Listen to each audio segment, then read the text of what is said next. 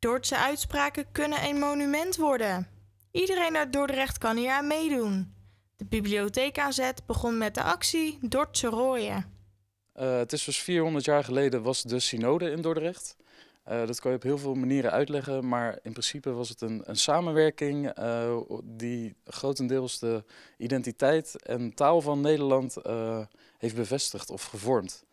en de bibliotheek heeft dat nu dus 400 jaar later opgepakt van we gaan weer die samenwerking aan om rondom taal onze identiteit te bevestigen.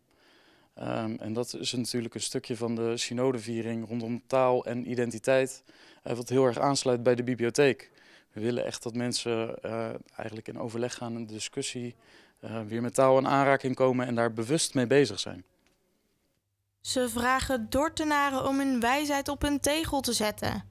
Het maakt niet uit waar het wordt gezegd of wie het zegt. Als het maar Dorts is, kan het op een tegeltje. Uh, daar is ook een deel van de website waar mensen zelf een tegeltje kunnen maken. Uh, dat tegeltje wordt dan online gemaakt en vervolgens kan dat gekopieerd en gedeeld worden. Uh, mensen kunnen ook een echt tegeltje bestellen. Um, dat is dus de website en we proberen daarnaast aankomend jaar op heel veel manieren in de stad te verschijnen. We hebben onder andere een bierviltjesactie die je dus waarschijnlijk in je favoriete kroeg of eetgelegenheid tegen gaat komen.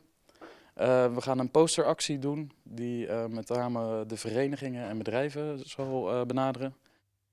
Het kan dus zomaar zijn dat je inzending als monument in de binnenstad komt te liggen. Waar het monument precies komt, houden ze nog even geheim. dus tot april gaan we al die wijsheden verzamelen. Dan in april sluiten we zeg maar, de inzendingen en gaan we op verschillende manieren kijken of we gezamenlijk tot uh, de breedst gedragen Dordtse uitspraken kunnen komen. En uiteindelijk worden die in mei, eind mei 2019, uh, als een nieuw monument in de binnenstad vereeuwigd.